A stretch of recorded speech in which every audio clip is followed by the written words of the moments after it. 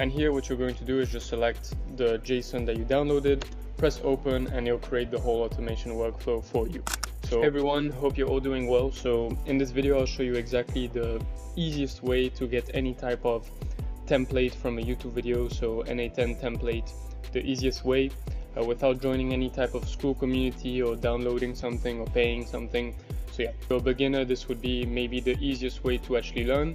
So how you're going to do it is you go on any type of YouTube video where you want to get the template and you're going to scroll down below and you'll see um, view transcription. And then what you're going to do is you're going to see the transcript and you're just going to copy paste the whole transcript um, like this. And then from here you go into Claude and so this doesn't work with any type of other LLM. You need to use Claude. You cannot use ChatGPT or DeepSeek or anything else. It has to be Claude. And then even better if you can use the extended version, uh, just because it's better in terms of coding. And so what we'll do here is we'll ask Claude to create a JSON downloadable file um, based on the transcript that I'll give it. And then we'll upload it into the n8n uh, workflow. So let's just do like this. Hey, Claude, please create a n8n JSON file based on this transcript. You will need to create exactly the different nodes from the transcript. Yeah, something like this. And then what you're going to do is you're going to just paste the transcript here and then you press on enter and what this will do is it will create a JSON file uh, with the with with some code and it will give you an idea of how the automation workflow should be. If you want to go even further than this, you could actually just talk with Claude and say, look, I want to create this, um, create the JSON file for me to upload to n8n, and that'll give you a good idea of how it should actually be created.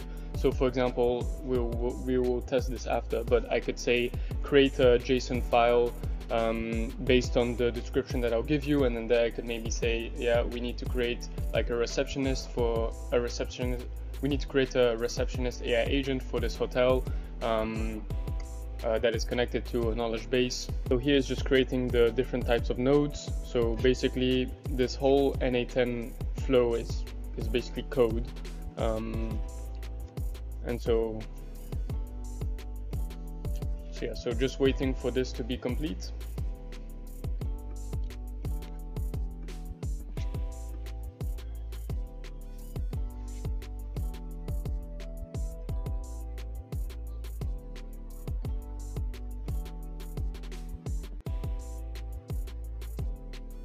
Okay, great. So this is complete. So what you can do is you just download to file and once it's downloaded, then you can directly upload it to n8n. So the way to upload it is you press on the three dots and here what you're going to do is just select the JSON that you downloaded, press open and it'll create the whole automation workflow for you.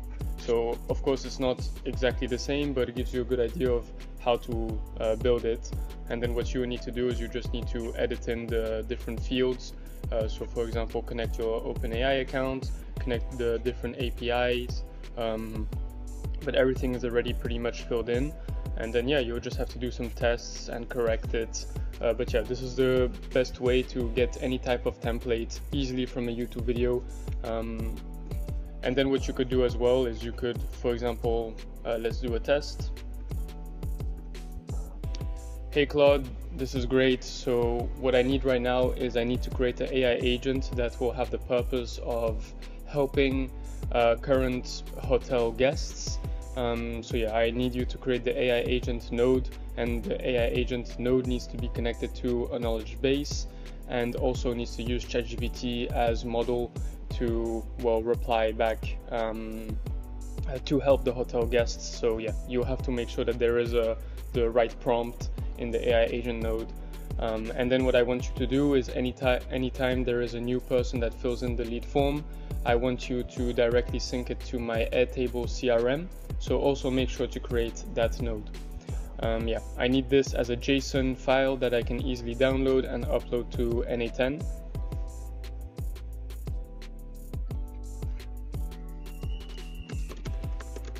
So yeah, and then once that's done, you can just send that out and then it'll create a new JSON file that you can download and upload to n8n. Yeah, so this would be another way that you can do it. Um, now, I do Now I do think it's best uh, to just go and, and to get the template directly because this will be 100% accurate to what is shown in the video, but this is just another way um, of doing this and that could work out uh, pretty well, especially if you're a beginner. So yeah, so what you do is you just download it to a file, you press on the three dots. Once you have uploaded it, then you have something like this.